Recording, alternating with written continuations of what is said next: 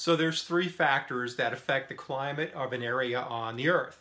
Climate is the weather over a long period of time, all year round, not just day to day, but how that area is all year. The first factor that affects an area's climate is its latitude, or how close or far away to the equator that location is.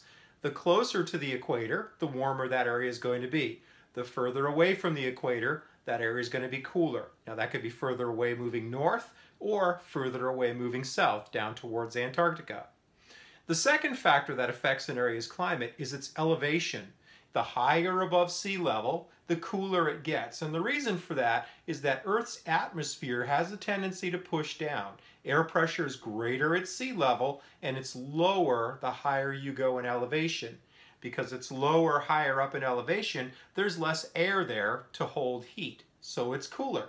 So an area's elevation is the second factor that affects its climate. Higher up, the cooler it's going to be in general. The lower down, the warmer it will be in general.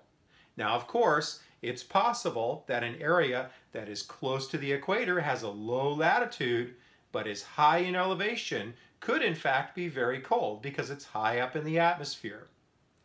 The third factor that affects an area's climate are the oceans. The oceans tend to store and move heat throughout the year.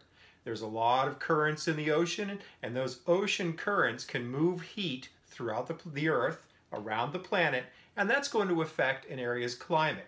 Also, the oceans store heat. During the warm summer months, the ocean's going to store that heat, and it's going to stay warm into the fall when it might start to cool down.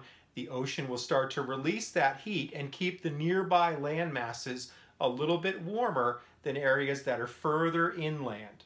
So those are three main factors that affect climate on Earth. Latitude, elevation, and oceans.